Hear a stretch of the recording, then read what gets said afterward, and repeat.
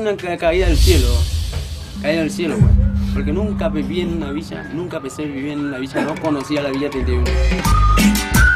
Onda mami, El color tostadito, calentito, te cotiza rapidito, te soba el culito, saludo para 20 y la 31 bis, Ramón, Claudio, Carlitos, el Chacho, con Julio Arrieta, el gallego, el asno, que en el balayo no rapio este mambo.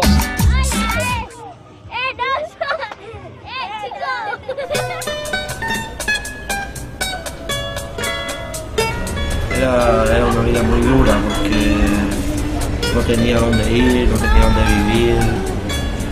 Así a poquito fuimos comprando materiales, cementos, hierro.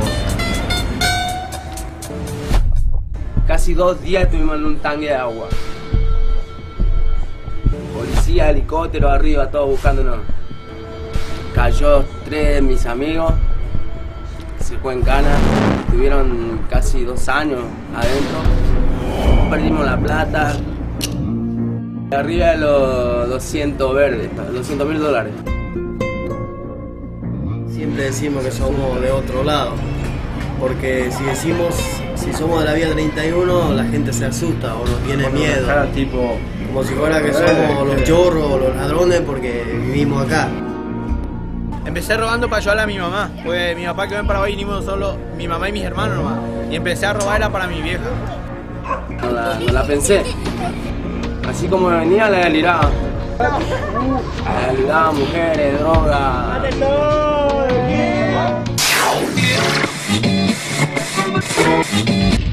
Mi, mi gran orgullo porque por este centro pasaron 596 pibes y solamente dos me quedaron en el camino.